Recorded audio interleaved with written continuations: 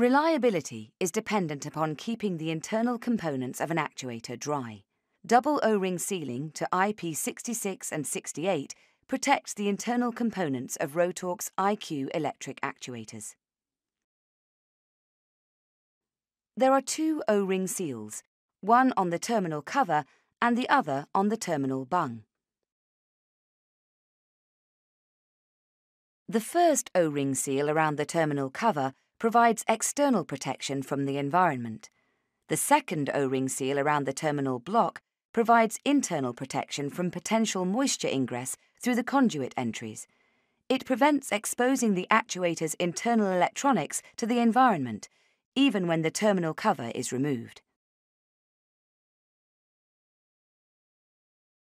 With Rotork's double sealing, the actuator will always remain watertight and dustproof.